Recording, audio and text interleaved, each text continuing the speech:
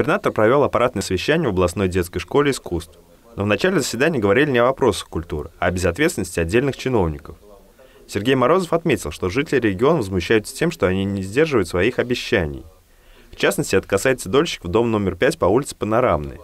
В связи с этим губернатор распорядился освободить от занимаемой должности министра строительства и архитектуры Алсу Садридинову. Именно вот э, так будем подходить. Обещали сделать. Не сделали, лучше всего либо попросить прощения и, что называется, э, вы, вымолить э, свои грехи, и чтобы люди вам дали возможность новый срок, э, новый срок реализовать это, либо заявление на стол и до свидания. Предупредил в очередной раз об ответственности губернатора руководителей муниципалитетов. До 31 декабря должны быть разработан дизайн-проект всех дворов и общественных пространств, которые ждет благоустройство. Не сделаете, я вам вполне официально заявляю, перечислений денег не будет потому что э, все попытки идти вам навстречу заканчиваются э, весьма э, плохо.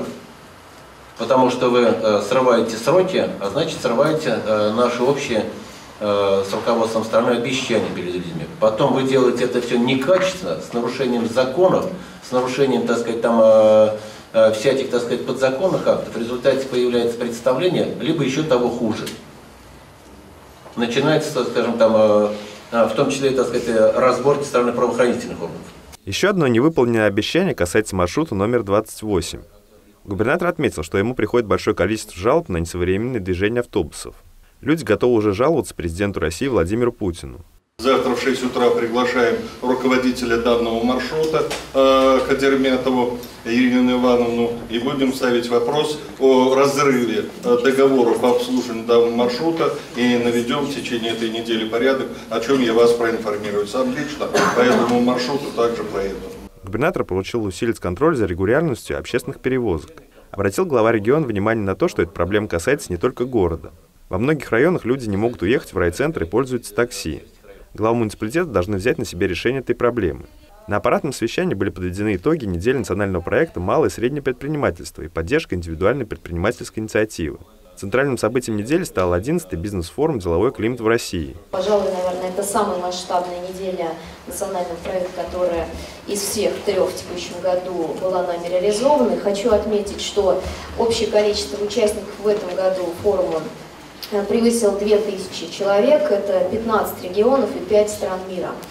Э, хочу отметить, что более 50 мероприятий прошло. Губернатор поручил руководителям муниципальных образований подготовить свои инвестиционные послания.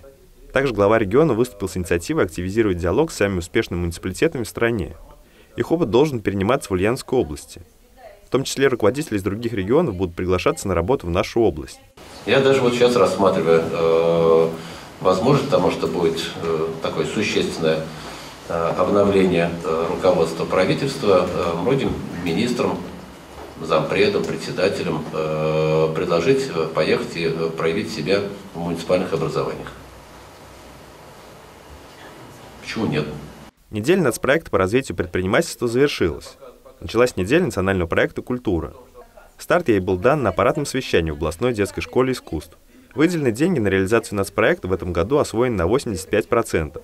В правительстве нет сомнений, что до конца года результат будет стопроцентным. В целом на сегодняшний день можно констатировать, что реализация этого проекта на территории региона в 2019 году осуществляется достаточно успешно, потому что контрольные точки не нарушены, целевые показатели достигнуты, и по оперативным данным за 11 месяцев один из самых главных показателей, который ставится для нас как ориентир в реализации этого национального проекта, рост посещаемости учреждений культуры уже вышел на ту заявленную цифру, про которую мы говорили по результатам года.